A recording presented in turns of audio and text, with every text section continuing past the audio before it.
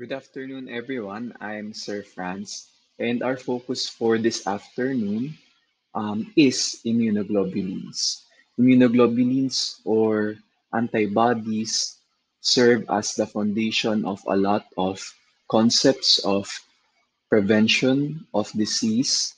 Um, it also serves a lot of therapeutic um, purposes, as we will discuss later in our course. So this is our topic outline. First, we will introduce antibodies.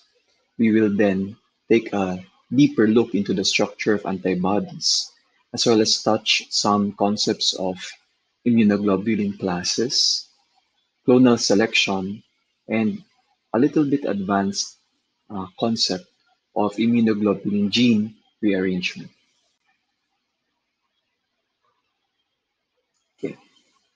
B lymphocytes produce immunoglobulins. Antibodies make up up to 20% of the total plasma protein, and plasma being the liquid component of blood, upon which the blood elements are suspended. Immunoglobulins bind tightly to antigens, and we define an antigen as any molecule that induces the formation of a matching antibody. From the name itself, antigen, um, which stands for antibody generator. Antigens must fulfill two criteria. First, it has to be large, and the molecular weight is up to greater than 10,000 atomic mass units. And second, it has to be a foreign molecule, with the exception of autoimmune diseases, where there is failure of self-tolerance, and even antigens are the body's own, the body's own proteins. The formation of antigen-antibody complex marks the antigen for destruction, where Phagocytic cells selectively phagocytize antibody-coated pathogens. Antibodies are extremely diverse, and each person has greater than 1 million structurally different antibody, each with its own unique antigen binding specificity. So, how do antibodies function um, to provide specific immunity. Number one is complement activation, where it will stimulate the synthesis and secretion of complement, which are chemical mediators of immunity. And uh, like antibodies are plasma proteins. Next, they stimulate phagocytosis um, via the process of opsonization, which we have touched on a little a while ago. Second, antibodies induce histamine release from mast cells.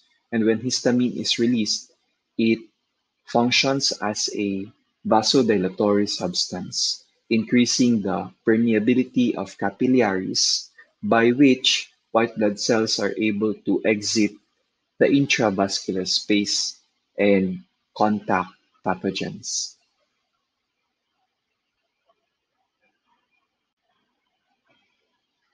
Antibody structure.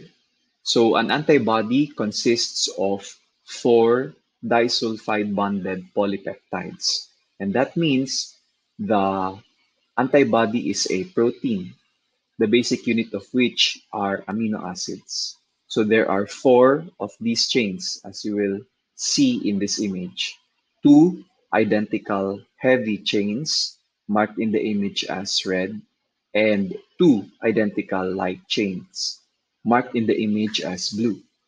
So all antibodies have the same general structure, and the heavy chains usually have a weight of 53,000 atomic mass units, and the light chains usually have a weight of 22,000 atomic mass units.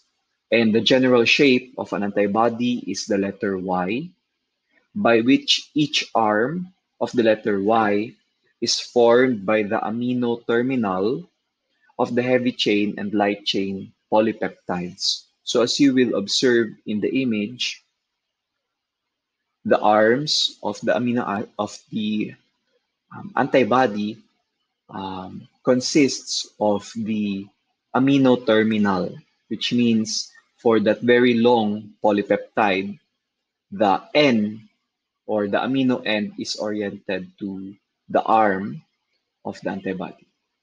And um, this amino terminal confers the specificity and the ability of this antibody to bind and neutralize antigens. So, antibodies have domains. And um, when we talk of domains, we are focusing our attention on the arm of the Y structure of the antibody. So the first domain is the variable domain, and this is found in the amino terminal of light and heavy chains, which means the distal portion of the polypeptide. Variable, variable domains are parts of the antibody that binds the antigen non-covalently. So this variable domain is what interacts with the antigen. Most of the variability is concentrated in hypervariable regions. You might uh, surmise that there are different types of antigens and um, the specificity, the uniqueness of the antibody in binding these antigens is concentrated, focused on the variable domain, particularly the hypervariable region. And there are three hypervariable regions in the variable domain of the light chain, the blue one, and up to four hypervariable regions on the heavy chain, the red one.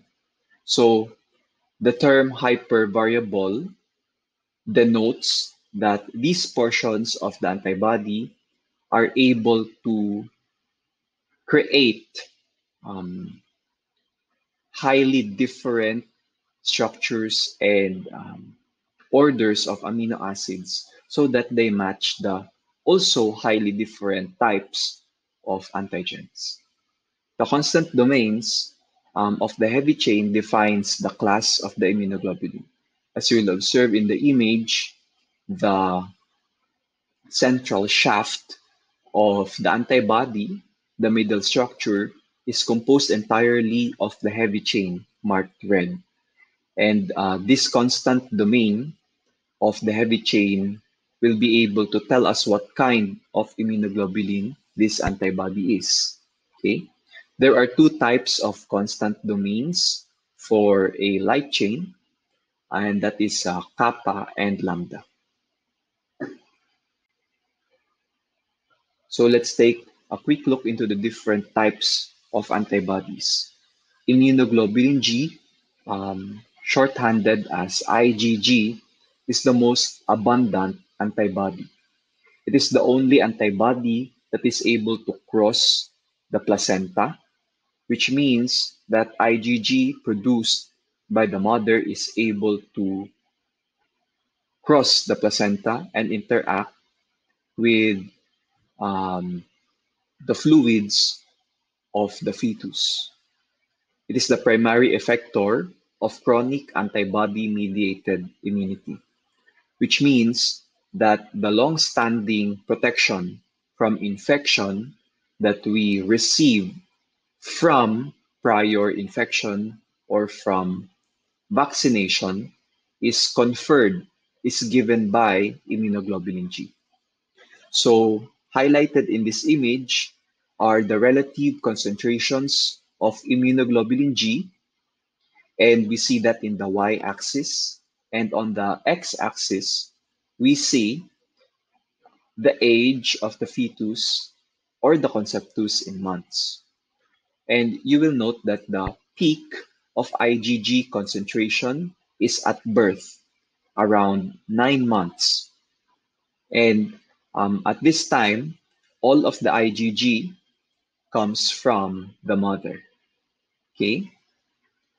And as the child progressively ages outside, you know, when the child is born, in extrauterine life, that is also the start, marked here in orange. That is also the start by which um, the infant will be able to synthesize its own IgG once it contacts vaccines and antigens from the environment. So the implication of this slide is that after the uh, after the birth of the infant, the first few months, the infant is protected from infections by antibodies produced by the mother. Okay, and so um, the ability of the infant to um, protect itself from antigens that were not discovered by the mother's own immune system um, is very low um, in the first few months of uh, birth.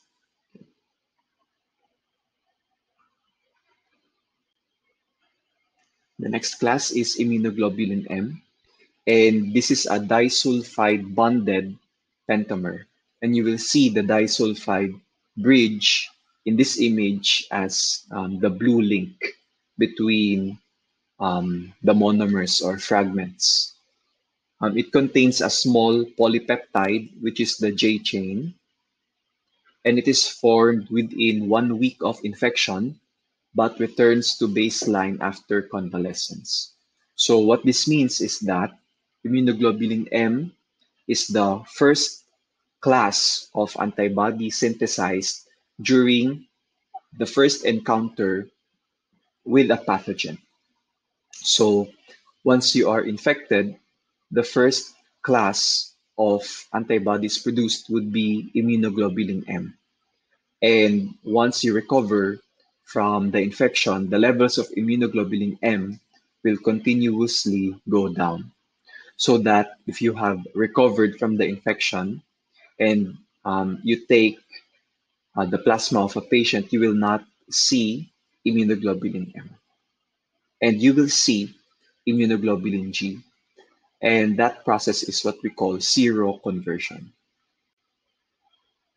The next type of antibody is immunoglobulin A. It is the most abundant immunoglobulin in external secretions such as the tears, saliva, bronchial mucus, intestinal and genitourinary secretions, and milk. It is synthesized in the submucosal lymphatic tissue, including the tonsils in the throat and Peyer's patches in the intestine. Immunoglobulin M is secreted as a dimer with a J chain and a secretory component. So, highlighted in this image is how immunoglobulin A acquires its uh, secretory component, um, which is derived from the membrane receptor that triggers the transcytosis or the passing through of immunoglobulin A across the mucosa. You need to understand that the cells, the plasma cells, are located in the submucosa, which is a layer deeper than the mucosa. So the immunoglobulin A that is secreted in this layer, the submucosa, will have to pass through the outermost layer, which is the mucosa. And as it passes through, it acquires its secretory component. Once it is secreted, it is already present in the bodily fluids. The next type would be immunoglobulin E. Um, the primary function of IgE is to mediate allergic reactions. It functions as an antigen receptor on the surface of mast cells. So just take a few moments to look at this image where IgE is uh, present here in the mast cell as the receptor. And the binding of antigen to the surface IgE, which in this case is the receptor, induces the release of stored histamine. um, which is the process of degranulation.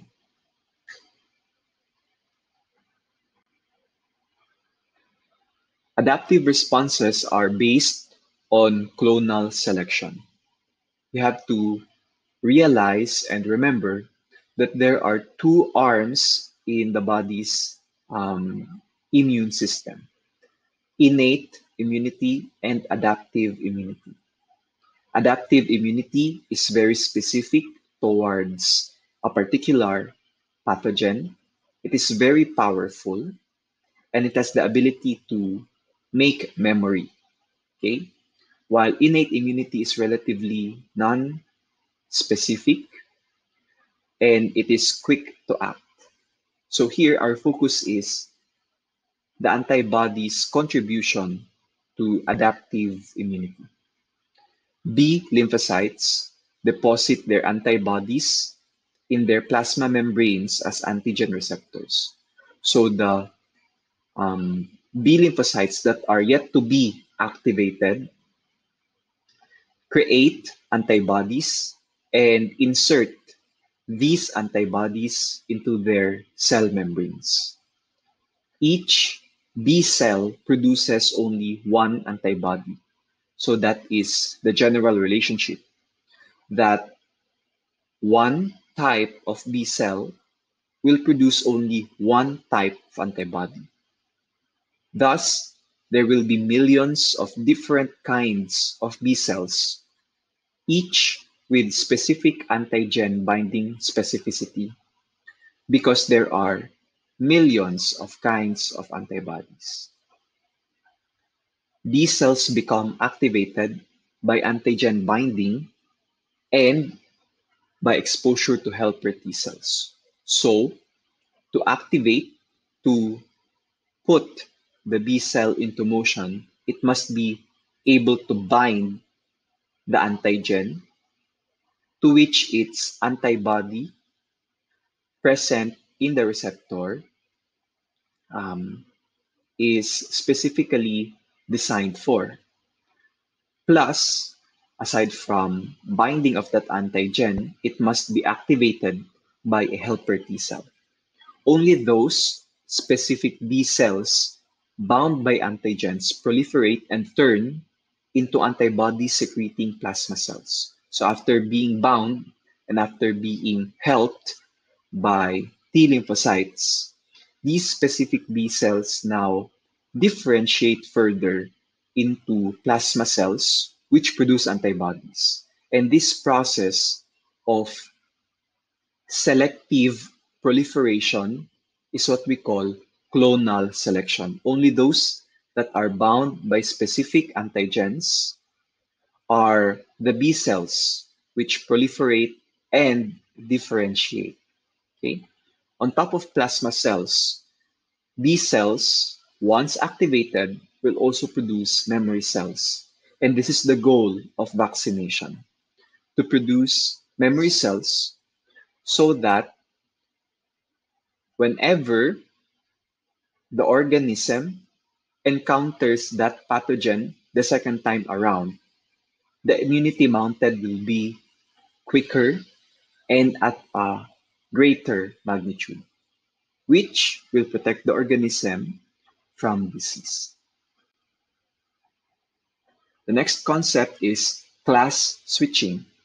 After antigen exposure, B cells change the surface antibody receptor from IgM originally into IgG.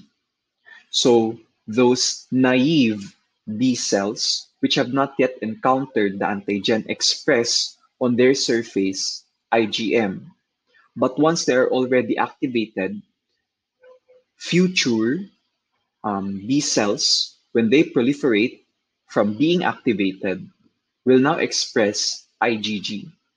The variable regions did not change, and the switch into IgG is mediated by a change in the constant domain from mu, which is the constant domain of the heavy chain of IgM, into gamma, which is the constant domain of the heavy chain of IgG. So this is an illustration of the process I described a while ago. The premature B cell, which is um, present in bone marrow um, from stem cells, will go out of the bone marrow and hone into lympho, uh, lymphoid follicles or lymph nodes. Um, in the lymph nodes, uh, they express IgM okay, on their surface. Once that specific IgM, which will only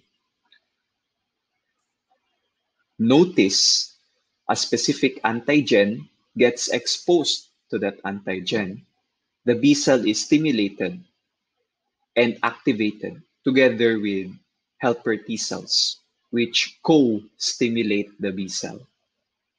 So um, the next one, after activation, the B cell will proliferate and those daughter cells will then eventually become plasma cells, which have a different phenotype or a different form specialized for synthesizing proteins which in this case are antibodies. And these antibodies are secreted into the fluids of the body, okay, the lymph, and then into the plasma.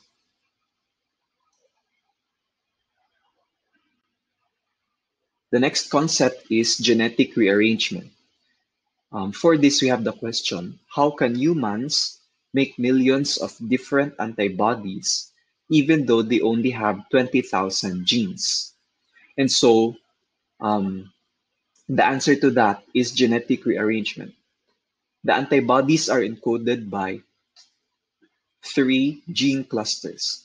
One gene cluster for the kappa light chain. Okay. One gene cluster for the lambda light chain. And one gene cluster for the heavy chain. The joining of these genes are imprecise. So whenever a B cell, which is still in the bone marrow, is trying to develop, it will continuously rearrange these three sets of genes so that their gene products, which will eventually be proteins after transcription, and translation are antibodies which have um, different orders of amino acids. And these differing amino acids will then be able to produce a three-dimensional shape that is specific for a particular antigen. And so it is by um, this mixing and matching of genes that the different antibodies are formed. Okay? Mutations are controlled selectively to produce varying antibody polypeptides that recognize specific antigens. Further mutations are introduced during class switching by cytidine deaminase. So whenever a particular antibody has already been expressed and there comes a time that these B cells would have to be activated. The IgM there expressed in the cell surface would have to be converted into IgG. And to convert into IgG, the enzyme cytidine deaminase, which is present in the nucleus, would continuously remove amino groups NH2 from cytidine. And this base, cytidine, once deaminated, transforms into thymine. Okay, so um, by the action of cytidine deaminase, there are point mutations that are created in the gene of this B cell. And that process is what we call somatic hypermutation. So here is an illustration of how genetic rearrangement occurs. In this gene, the first bar, um, you will see that there are three um, V genes. There are five J genes and one constant gene. During gene rearrangement, one of the V genes is randomly put together with a J gene. And so, um, with this random combination, we will be able to produce random also uh, gene products. So here, VX is spliced with J gene 3, 4, and 5. And that can be um, randomly combined such that it's not Vx, but Vn or V1, and not one and any of the five J genes. And so these putting together of the different genes randomly will create varying combinations of mRNA upon transcription, and also um, varying combinations of polypeptides uh, during translation. Okay, and so that's how antibodies um, are generated, you know, the different kinds, and um, with uh, multiple and varying specificities. Okay? So this is my reference for this lecture. The reason for providing this lecture, uh, a crash course on antibodies, is um, by next week during our asynchronous class, we will be uh, diving in into how monoclonal antibodies are created. Okay, so thank you for listening.